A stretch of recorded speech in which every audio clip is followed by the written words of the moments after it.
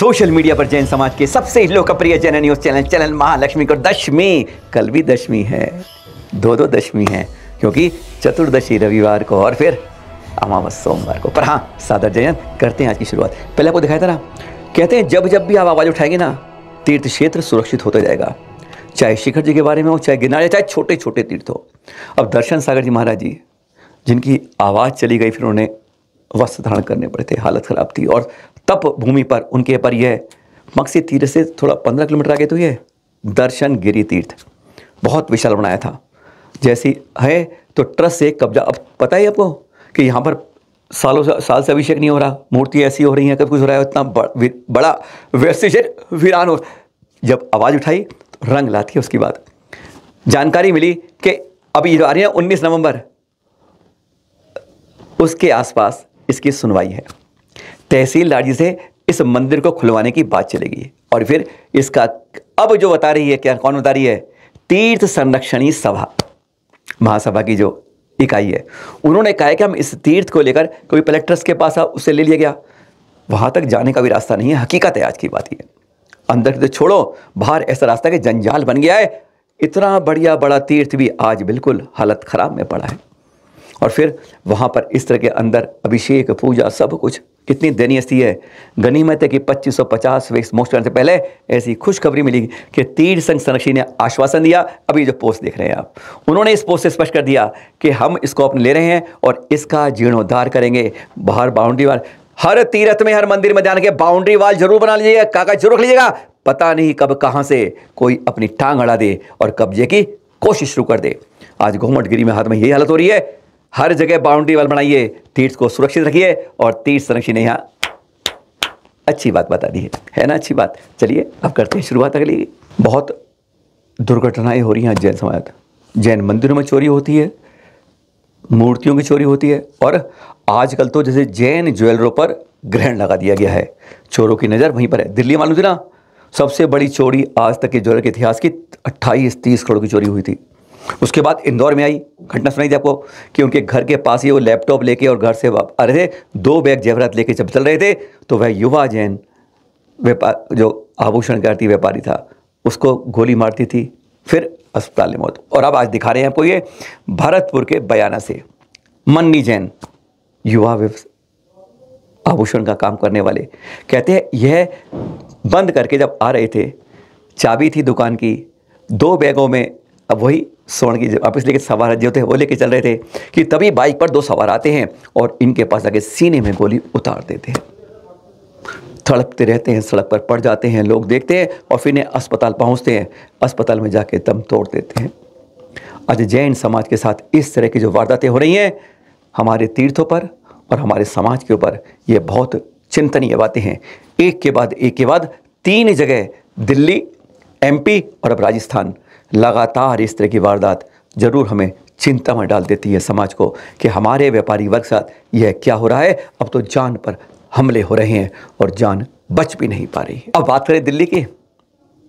दिल्ली में जो दृश्य अब आप देखेंगे चौदह नवंबर को। बहुत गजब की बातें हैं। हम ऋषभ विहार की बात करते हैं। दस तारीख को वहाँ पर पावापुरी की शुरुआत हो रही है कृत्य मिश्रा की। ग्यारह को वहाँ पर प्राकृत के ऊपर एक गोष्ठी है, बहुत बड़ी।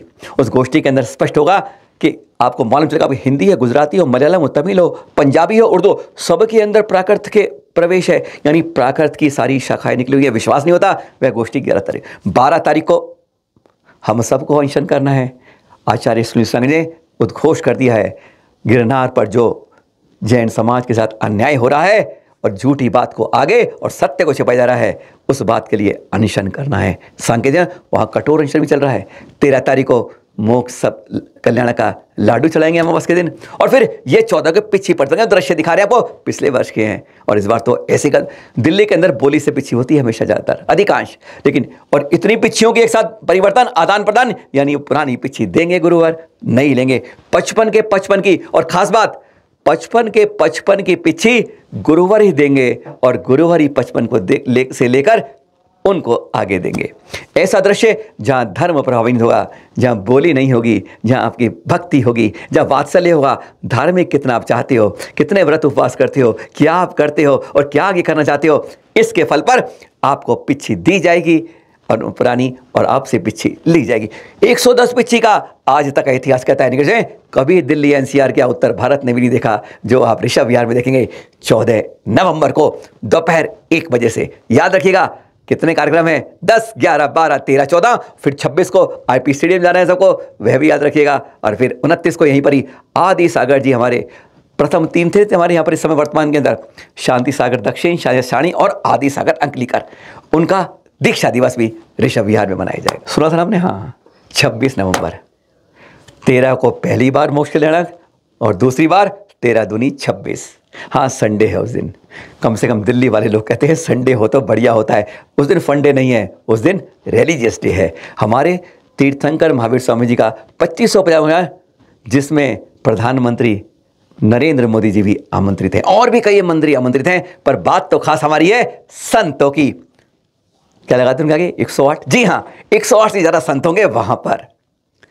आचार्य श्री सुनील सागर जी प्रमुख रूप से पचपन पिछी हैं। पावन सानिध्य बड़ों से विष्णु सागर जी, बाईस तक पंचकाड़े सोचिए कैसे कैसे कैसे तुरंत आएँगे उस दिन। और हाँ मंगल प्रेरणा और मार्गदर्शन है आचार्य श्री प्रज्ञ सागर जी का।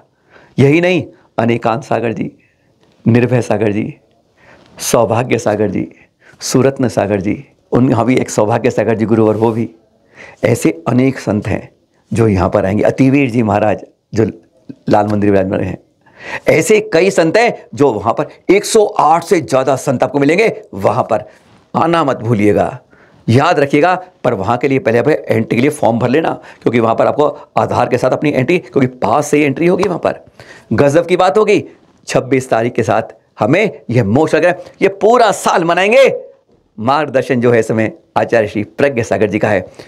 एक एक कार्यक्रम में हमको जुड़ना है, चाहे घर घर में पौधे लगाने हों प्रदूषण दिल्ली के आसपास से ज़रूर भगाना होगा। यही नहीं, अहिंसा रथ की भांति हमें भी जन जनादेश अपने घर पर ध्वज भी लगाना होगा। पर एक बात ध्यान रखिए, पूरी फैमिली का छब्बीस नवंबर को आना ज़रूर है। आईपी स्टेडियम आईटीओ पर है इंडो स्टेडियम वहाँ पर सुबह दस बजे। और अभी एक तस्वीर ये चंदोवा है। क्या खास बात है? हर मंदिर में देखते हैं। ये डोंगर लग रहा है। अच्छा तो क्या हुआ? अरे, साठ किलो हाँ साठ किलोग्राम। चांदी का है। और पता है, खास बात क्या है इसमें? अभी तो ये तैयार हो रहा है फ्रेम बनेगा तीन चार दिन में। और फिर इसमें नौ छत्र भी लगेंगे चांदी के। और साथ में चौंसठ चांदी के चवर भी लगेंगे। पता है कितना वज़न होगा इसका पता है? कितना होगा? साठ है, पैंसठ, सत्तर, अस्सी, सौ, सवा सौ। डेढ़ सौ से दो सौ किलोग्राम वज़न का हो जाएगा चवर। ये, है ना? ऐसा आपने आज से पहले चंदोबा शायद नहीं देखा हो। इसलिए है खास बहुत खास जो बन रहा है, इस समय डोंगरगढ़ में पहुँच चुका है। जाते जाते हुए तस्वीर दिखा देंगे आपको एक प्रतिमा की, पारस प्रभु की। अनोखी पर हसलूर के ये अतीय क्षेत्र के अंदर ये विराजमान है। इसके अंदर बड़ी अजब की मूर्ति कला के बारे में हमारे जितने जैन समझ ऐसी शिल्प कला मूर्ति ने कहीं नहीं मिलता। क्या कल्पना होती है? यहाँ पर धने पद्मावती ने जैसे तीर्थंकर पार्शनाथ जी को उठाया हुआ है। है ना अच्छी कभी जाइएगा, दर्शन करिएगा। यहाँ पर बड़ी गजब की प्रतिमाएँ हैं। फिर मिलेंगे आपके साथ। अंतिम तीर्थ बाद पंद्रह नवंबर है। अपने तीर्थों की सुरक्षा की जो निकाला है ना ये, आप लोग भाग लीजिए। जल्दी से जल्दी पंद्रह के बाद स्टॉप जिनके आए हैं, उन्हें डी का सर्टिफिकेट मिलेंगे और आप में से इनाम भी मिलेंगे। एक को इक्यावन सौ रुपये एक को इक्कीस रुपये और एक को ग्यारह सौ रुपये मेन बात यह है कि हमने तीर्थों के लिए अपने अंदर क्या जज्बा पैदा किया है। कोई भी तीर्थ है, वहाँ की जानकारी भेजिए, वीडियो भेजिए और इसमें शामिल लीजिए, नंबर आप देख ही रहे हैं nine nine one zero six nine zero eight two three ये टोपी वाला कुछ ऐसी बातें करता है आपके साथ, सादर जय जिनेन्द्र।